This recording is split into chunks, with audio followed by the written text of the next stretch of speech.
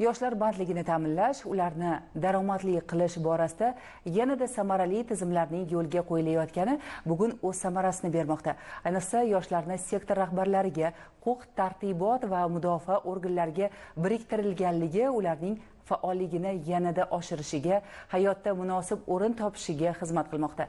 Qashqadaryodan tayyorlangan lavhamiz shu haqda.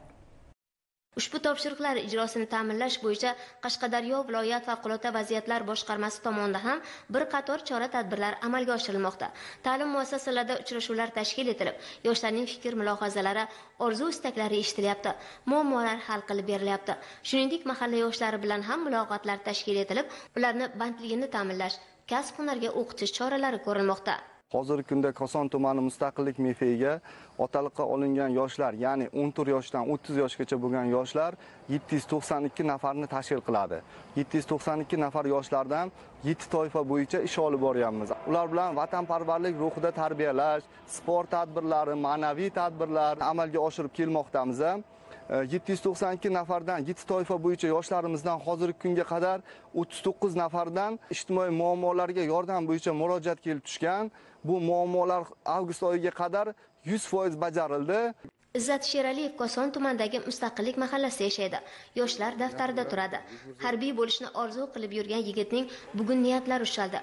Koson tumani yong'in qutqaruv qismiga ishga joylashdi. Qarshi tumanida istiqomat qiluvchi mirshod alimardonov ham bugun ishli bo'ldi.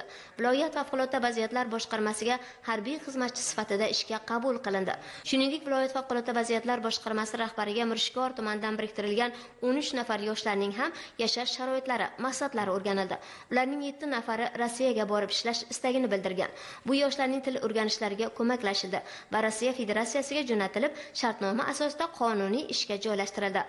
Shuningdek yana ikki nafar yoshga tadbirkorlik qilishi uchun imtiyozli kreditlar ajratildi. Dehqonchilik qilish istagidagi bir nafar yoshga qishloq xo'jaligi mahsulotlari yetishtirib daromad topish uchun bir gektar yer ajratib berildi. Tikuvchilik bilan shug'ullanishni niyat qilgan ikki nafar yoshga tikuv mashinasi olib berildi.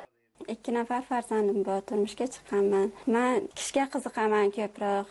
Oila o'ziga e, buyurtma beradigan insonlar ko'ylaklar xalatlar tikaman. Doim qo'l moshinda tikadim bicha qiynaladim. Hozir manga ham shunday moshina taqdim etildi.